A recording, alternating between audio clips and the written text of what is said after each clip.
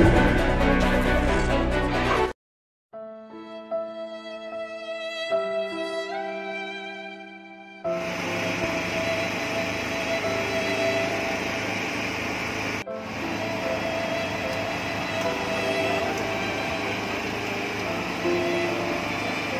ha ha ha ha!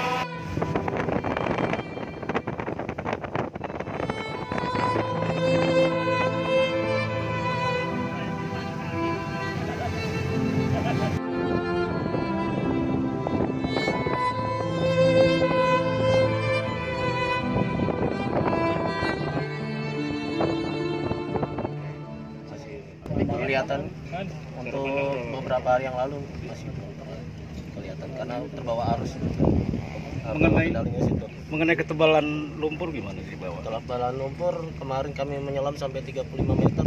Lumpur tuh tebalnya sekitar 2 meter. Tapi waktu itu belum ditemukan titik. Waktu hari ketiga masih menunggu instruktur dari instruksi dari Basarnas.